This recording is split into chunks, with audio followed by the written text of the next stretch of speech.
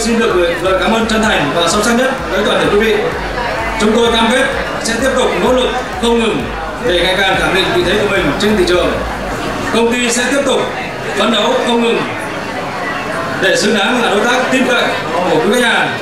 Đồng thời trân trọng xây dựng mối quan hệ bền vững và gắn kết dài, lâu dài với toàn thể quý vị.